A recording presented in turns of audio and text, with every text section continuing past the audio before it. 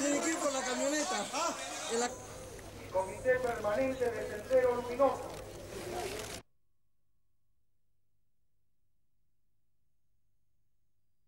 Siempre el pueblo ha sido quien ha defendido la patria, quien ha defendido la nación.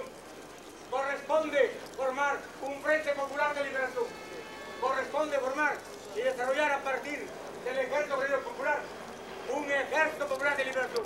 Eso es lo que corresponde. Los comandos de aniquilamiento a punto de caer, pero chasqueando los dedos y ensayando una exótica danza griega. Esta película, compatriotas, fue filmada por uno de los dirigentes que asistía a las reuniones